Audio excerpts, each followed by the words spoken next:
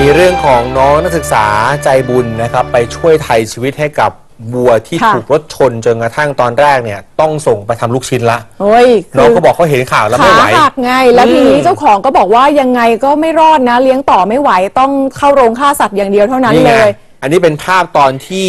เจ้าบักจุนวัวเพศผู้ที่เดินพลาดครับ ตกลงไปในคลองลึกกว่า 4 เมตรอะ เมื่อคืนนี้ใช่ไหมเมื่อคืนนี้ยังดูที่มืดๆอ่างทอง นะครับกว่าจะช่วยเหลือกันขึ้นมาได้เนี่ยลำบากครับเพราะว่าบักจุนเนี่ย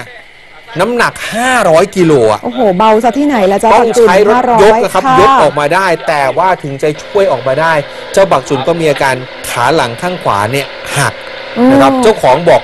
คงต้องเข้าโรงเชือดอย่างเดียวแหละ รักษาคงไม่ไหวแต่ว่า เจ้าบักจุนไม่ถึงคาดนะใช่เพราะว่าโชคดีมาก ๆ ค่ะ เพราะว่าน้องวาสนาหอจิตสิริยานนท์นะคะ เป็นนักศึกษามหาวิทยาลัยรังสิตนะ ติดต่อกับนายสายทาน ซึ่งเป็นเจ้าของเจ้าจุนบอกว่าขอไถ่ชีวิตก่อนนะคืออย่าเพิ่งเอาไปโรงเชือดเลยน้องบอกว่าน้องอยากจะช่วยจริง ๆนะคะนี่ไงนี่ไงคือพอหลังจากสอบเสร็จนี้เลย น้องสาวว่าน้องวาสนาเนี่ยมาเลยนะคะ แล้วก็มาไถ่ตัวเจ้าจุนนะคะโอ้ดูสิ คือเหมือนมันจะรู้เลยนะคะ อ๋อ พอน้องเขาเอาย่าไปให้นะคะ แล้วก็เดินไปลูบตัวเจ้าจุนเนี่ย เจ้าจุนนี่มาซบน้องวาสนาเลยนะ เหมือนเหมือนจะเหมือนอะรู้ว่ารอดแล้วเรารอดเนี่ยแล้นะว คนนี้ที่มาช่วยค่ะเออจริงๆน้องเขาบอกน้องเขาไม่ได้มีเงินนะ ค่ะ แต่เขาก็ต้องใช้วิธีเรียรายซึ่งขอรับบริจาคมา ไม่น่าเชื่อนะคนไทยใจบุญได้มาเกือบห้าหมื่นแล้วอะอ่า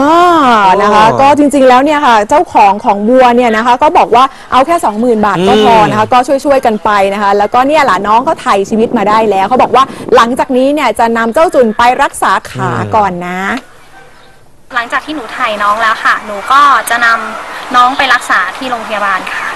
ก็ตอนนี้ก็มีพระอาจารย์หลายคนแนะนำสถานที่ให้หนูมา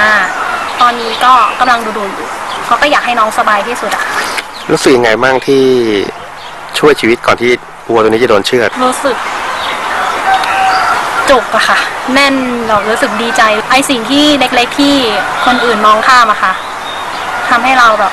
รู้สึกเหมือนประสบความสำเร็จในทุกๆด้านเลยแบบ